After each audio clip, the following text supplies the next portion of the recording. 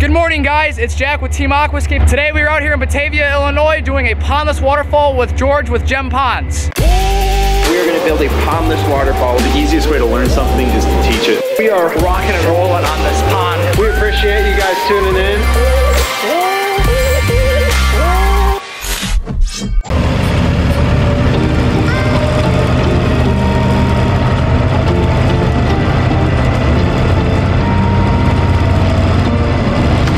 Right now, we're gonna be doing this pondless waterfall, nine small aqua blocks. The basin's gonna be sitting just in this area here, right off this gorgeous patio. They just got this patio done a couple weeks ago, and as you can see, we're gonna be forming our rocks all the way up into this patio so it gives that nice nestled look. Right now, we just placed out our nine small aqua blocks. Our basin's gonna sit somewhere in this corner here. We have it all marked out and ready to go. It's gonna be more of a meandering type stream. I mean, there's really not that much of a grade change to play with here. So that waterfall is just gonna kind of come hug up against this patio. It's just gonna kind of meander all the way up here and then our 2500 biofall is gonna sit right here facing towards that window over there and this gorgeous patio. So without further ado, we are gonna get going.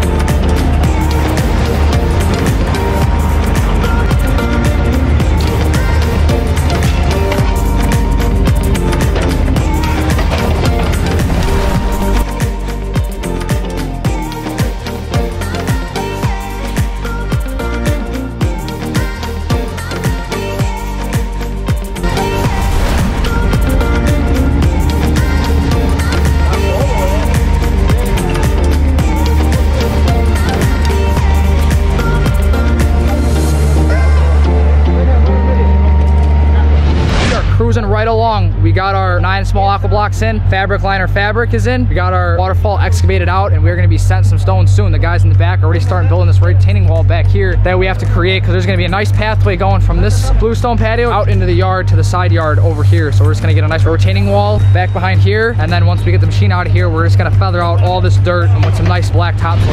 When you guys see where the water is gonna be at, we're cruising right along. It's a little before lunchtime and we got our bottom waterfall into the basin done. Udi and I are working on our waterfall up here. And this one's gonna be a cool waterfall because we don't really have that much of a grade change. Right now it looks like we have a grade change, but this dirt right here is level with that patio and we gotta make sure that we have enough pooling area up top and that we have three inches of play with liner between that patio and water line inside that pooling area. So right here is gonna be more of like a Babley Brook style waterfall. You guys have seen us do plenty of times before, just with, with some cobbles. It's just gonna kind of give it that ripple effect over here and then it's gonna swing back into here and then it's gonna dump over this waterfall here, viewing towards that awesome viewing area here. So it's gonna look awesome. We're gonna get our nice bib liner into here. So this water is gonna zigzag into here, come back, kick back here, and then disappear somewhere in this area here, back into our reservoir.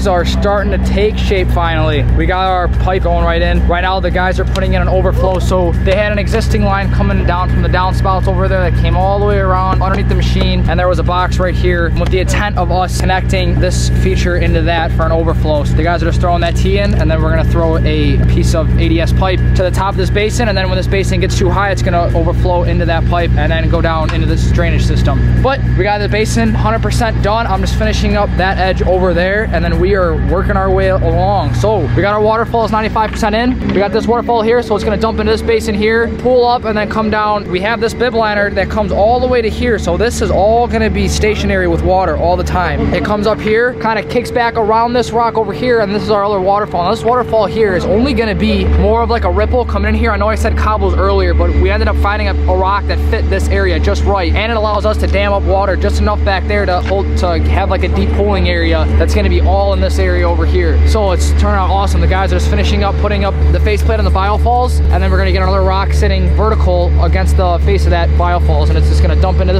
area here, and then quickly dump them into the stream off of this rock here. So it's turned out awesome. We got a nice piece of fieldstone here. We're gonna throw another piece over there, and a nice beach coming off this patio. So from the house, you're gonna see that waterfall, that beach area, and then you're gonna see that water's kind of just slowly go over that waterfall, and then you're gonna see it reappear down there. So it's turning out awesome. I can't wait, and stay tuned.